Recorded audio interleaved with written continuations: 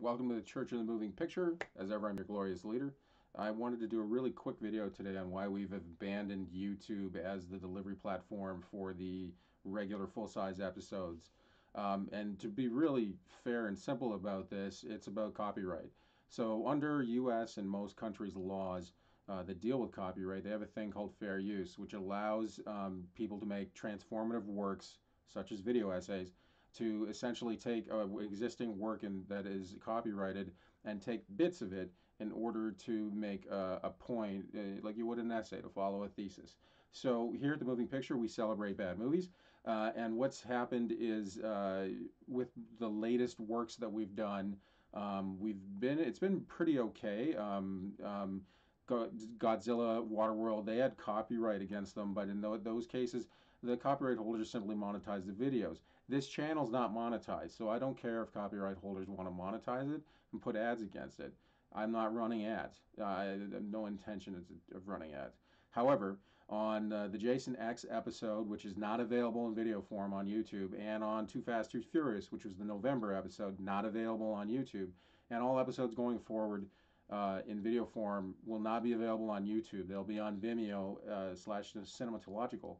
Uh, it's very simple, is that the copyright uh, holders use the content ID algorithm to completely prevent any transformative work from being used regarding their content. And, and that's an abuse of fair use, in my opinion. I'm not a lawyer. So, given I'm not trying to monetize this uh, channel, uh, I, to be like quite honest, I lose between 50 to 100 dollars plus 20 hours of my time every month creating an episode uh, and getting the assets because I license all the music and sound effects, which is then paid out to those creators. So that's coming from me in order to create a product that I want to share with you. However, I'm not going to continue to fight YouTube and edit little bits out of um, the episodes that I'm creating uh, that I'm putting all this time and effort into in order to have them strike them down over a egregious abuse of the United States legal system.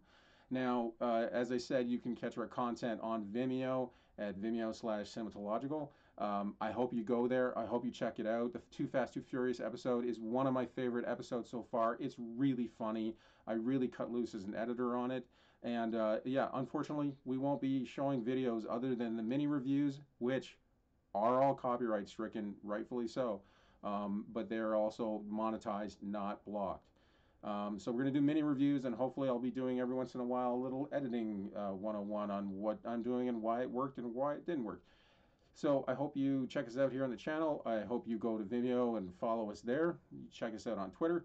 And, uh, you know, if you have any questions, leave a comment. If you want to know what it's like to be doing this dumb idea and uh, just trying to put stuff out in the world and see if anyone cares, uh, only to, you know, find yourself blocked by egregious algorithms, hit me up on Twitter. Uh, and, you know, as ever, love bad movies and we hope you follow the church. Have a good one.